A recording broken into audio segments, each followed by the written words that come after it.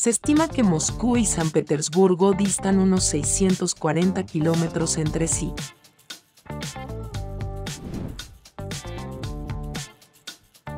La ciudad está ubicada en el río Neva y se extiende desde las orillas del río y a través de una serie de islas que están confinadas dentro del delta del río.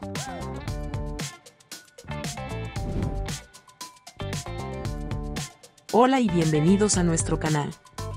Suscríbete a MorTube y cuéntanos si disfrutas de nuestro video.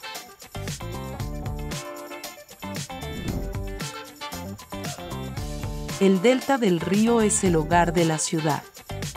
El río sirve como divisor natural entre el delta del río y las islas que se encuentran más allá. El telón de fondo de la ciudad es también el delta del río, que se puede ver a lo lejos. En general, se acepta que San Petersburgo es la ciudad de toda Rusia que mejor ejemplifica el estilo arquitectónico imperial, dada la cantidad de palacios opulentos, iglesias majestuosas y jardines exquisitos que se pueden descubrir allí. Los ambiciosos planes de Pedro el Grande a principios del siglo XVIII sentaron las bases para la majestuosa arquitectura y los magníficos canales de la ciudad, que posteriormente fueron embellecidos por sucesivas generaciones de familias reales rusas. Los planes de Pedro el Grande se implementaron por primera vez en San Petersburgo. San Petersburgo fue el lugar donde inicialmente se pusieron en práctica los planes de Pedro el Grande. Los planes de Pedro el Grande se pusieron en marcha por primera vez en San Petersburgo, que era la ciudad donde tenía sus ideas redactadas. Esta dinastía nació a lo largo de varios siglos con la intención de erigir una región metropolitana capaz de competir en igualdad de condiciones con las ciudades más prestigiosas de Europa. El objetivo de este esfuerzo era crear una región metropolitana que pudiera competir en igualdad de condiciones con estas ciudades. Tan pronto como ponga un pie en una de las calles empedradas de la ciudad, se dará cuenta inmediatamente de que lograron este objetivo. La gran mayoría de los visitantes del barrio histórico de San Petersburgo comienzan sus investigaciones sobre el barrio justo en el centro del distrito. Además de albergar el Palacio de Invierno, la columna de Alejandro también es uno de los monumentos más reconocibles que se pueden encontrar en Palace Plaza. Este majestuoso castillo fue un regalo que dejó Catalina la Grande para simbolizar la majestuosidad y el poder de la Rusia imperial, y estaba destinado a ser tan grandioso como su homónimo. A Catalina la Grande se le atribuye el nombre de este castillo en su honor. Durante el reinado de Catalina la Grande, también conocida como Catalina la Grande, se construyó este castillo. Fue durante el reinado de Catalina la Grande, quien era la monarca de Rusia en ese momento, que se construyó este palacio. Nevsky Prospect es la calle más importante de la ciudad, y a lo largo de ella se encuentran algunos de los edificios más extravagantes que se pueden encontrar en cualquier parte del país. Nevsky Prospect es también la calle con más tráfico peatonal. Además de esto, Nevsky Prospect es la calle que tiene el mayor volumen de tráfico peatonal. La construcción de San Petersburgo se volvió menos complicada como resultado directo de las acciones tomadas por Pedro el Grande para limitar el uso de piedra en otras regiones de Rusia además de San Petersburgo. Esto no solo resultó en un aumento de los recursos financieros, sino que también resultó en un aumento en el número de trabajadores calificados que eran accesibles. Ve a la Catedral de Kazán y la Iglesia del Salvador sobre la sangre derramada, dos estructuras ampliamente reconocidas como uno de los mejores ejemplos de sus respectivos estilos arquitectónicos. Ambos edificios fueron construidos en el siglo XII. Debido a los impresionantes mosaicos que se pueden descubrir dentro de la Catedral de Kazán y la Iglesia del Salvador sobre la sangre derramada, las visitas a ambas estructuras son absolutamente necesarias. La cúpula de la Iglesia de San Isaac en Rusia, que está recubierta de un baño de oro, ha estado reflejando la luz del sol de una manera asombrosa durante más de un siglo. La catedral se puede encontrar un poco más adelante río abajo desde donde se encuentra actualmente.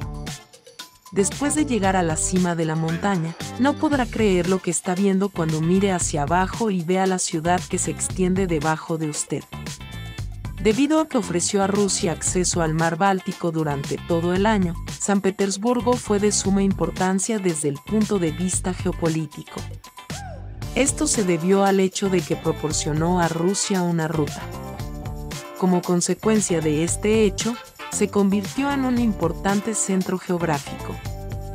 Admira la aguja dorada del edificio del almirantazgo, que se creó en el mismo lugar donde más de 10.000 artesanos expertos trabajaron día y noche para fabricar los primeros buques de guerra de Rusia. La estructura se sitúa en el lugar que originalmente ocupaba el astillero antes de su conversión a este uso. En la orilla opuesta del río se encuentra la fortaleza de Pedro y Pablo, que es ampliamente reconocida por haber sido la primera fortificación que se construyó en el área urbana ahora conocida como San Petersburgo. Se cree que un número considerable de emperadores y emperatrices rusos fueron enterrados dentro de esta catedral, que es la iglesia más antigua de la ciudad y también es el edificio más antiguo de la ciudad. También destaca por ser la iglesia más antigua de la ciudad, estatus que ostenta. Aunque los días del imperio ruso han quedado atrás, todavía es posible escuchar los ecos del engaño y la intriga rebotando en las fincas regias repartidas por toda la ciudad. Estos ecos pueden escucharse a pesar de que los días del imperio ruso se han ido hace mucho tiempo. Incluso si los días del imperio ruso se han ido hace mucho tiempo, es posible escuchar estos ecos hasta el día de hoy. Tome un hidroala hasta el extravagante complejo del Palacio y Jardines de Peterov, que fue construido para competir con el Palacio de Versalles en Francia. Este complejo está ubicado en San Petersburgo, Rusia. Esta instalación se puede encontrar en la ciudad rusa de San Petersburgo, esta estructura que se describe incluye tanto el palacio como los terrenos en su totalidad. Este establecimiento se puede encontrar en Rusia, más concretamente en la ciudad de San Petersburgo en el continente europeo. Tómate un tiempo para apreciar las aguas resplandecientes de la Gran Cascada, una maravilla de la ingeniería que consta de más de 60 fuentes que son completamente capaces de funcionar sin el uso de bombas en ningún momento. La Gran Cascada se encuentra en medio del jardín de la Gran Cascada. El Palacio de Catalina se encuentra al sureste de la ciudad, y se utilizaron más de 150 kilos de pan de oro para cubrir el techo del palacio. El palacio lleva el nombre de Catalina la Grande en reconocimiento a sus logros como monarca. Es hora de ir y ver el palacio de verano y los jardines una vez que haya terminado de regresar a la parte central de la ciudad.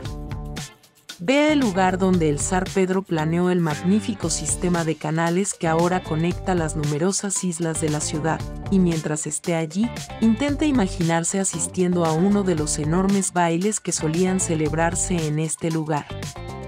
El intrincado sistema de canales de la ciudad, que está conectado entre sí por más de 300 puentes, contrasta con los rascacielos del área metropolitana, que se extienden hasta las nubes. Navegar por uno de los canales de la ciudad por la noche es una de las formas más deliciosas de disfrutar del fascinante ambiente de San Petersburgo por la noche después de la puesta del sol. Esta es una de las cosas más divertidas que hacer en la ciudad. Tendrás que cruzar una red de puentes levadizos en diferentes lugares a lo largo de la ruta para completar un viaje que te mostrará la longitud precisa a la que creció la visión de Pedro el Grande. Este viaje le mostrará hasta dónde se expandió la visión de Peter. Esto le permitirá obtener una comprensión integral de la visión expansiva de Pedro el Grande. San Petersburgo es una celebración del pasado imperial de Rusia y la oda triunfal a la tenaz búsqueda del deseo de una sola persona. La ciudad es un recuerdo brillante del pasado imperial de Rusia y una oda triunfal a la tenaz búsqueda de la ambición de una sola persona. La ciudad es un tributo a la intensidad del deseo de un hombre, es hermoso, lujoso y apasionado, todo al mismo tiempo. Este es un testimonio de la ciudad. Gracias por mirar y espero volver a verte pronto.